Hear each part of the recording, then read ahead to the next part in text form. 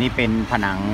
ปูนลอฟนะครับเป็นเวอร์ลอฟสีเทาที่ทำไว้นอกอาคารนะครับ ก็หลายเดือนแล้วนะครับที่เคลือบแว็กไว้อยู่นะครับ นี่เป็นผนังภายนอกที่เคลือบแว็กไว้อยู่นะครับ ผมก็จะลองรดน้ำให้ดูนะครับนี่นะครับ ถามว่ากี่เดือนผ่านไปนะครับ น้ำที่ไปสัมผัสอยู่บน